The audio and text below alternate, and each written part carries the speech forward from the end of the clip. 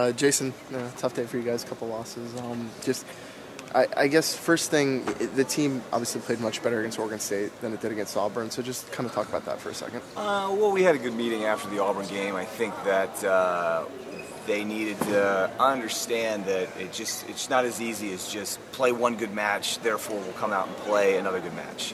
Um, and Auburn kind of proved that to us by uh, taking us to the woodshed a little bit uh, in that match. And, and, we talked about that, and they came out and played extremely well here against Oregon State. I, I mean, I really was, was happy and proud of the way they played and how they battled.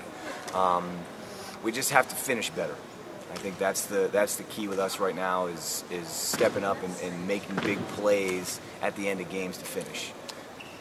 Um, I, I, noticed sitting over here doing the broadcast just at, at, the end of the fourth game, it seemed a little disappointed they didn't put it away in the fourth. Yeah, we had a big lead. I, I don't know how many points it was, but it was at least five or six points that, that we were up, and uh, we got stuck in, in one rotation again, and, and, really couldn't couldn't make a play to get out of it. And Oregon State, I mean, we, we put some balls in places that they ran down and, and touched balls and, and scrapped and battled and kept forcing us to make a play to, to get out of it, mm-hmm. and that's where we were struggling. We kind of were sitting back a little bit and hoping that Oregon State would make a mistake and hit a ball out or miss a serve or uh, mishandle a ball in order to uh, to get out of the situation. And uh, that that's tough against good teams. You, some some other teams you play might give that to you, but uh, Oregon State, Auburn, Cincinnati, they're not going to give you those points. And uh, just final question: What do you take away from this weekend that you apply toward next weekend's tournament?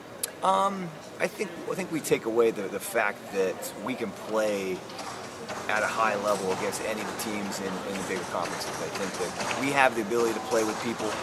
We just have to maintain that level next weekend when we don't have those names across the net. Uh, that can't be the only thing that gets us motivated is, is the name Cincinnati or Oregon State on the other side of the net. We're, we're playing Radford in North Florida, um, both good teams in, in their uh, in their own, and we have to play keep our level of play high, uh, regardless of the people on the other side, and then a very good Central Michigan team in the nightcap. All right, Coach. Well, have a good night. We'll talk to you during the week. Thank you very much.